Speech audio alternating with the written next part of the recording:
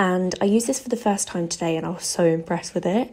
So this just goes to show how much dust and hair and other little bits and bobs are in the stairs and it just irons out most of the creases. We do have linen bedding so it's never going to be like completely crease free but if you have cotton bedding or you like your bedding to be like super crease free then I'd recommend doing this over a door and leaving it to dry.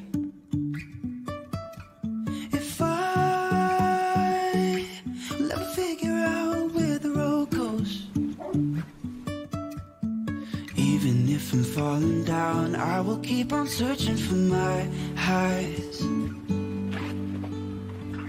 You can say I lost my mind. I will keep on holding my head high. Even if the sky is falling down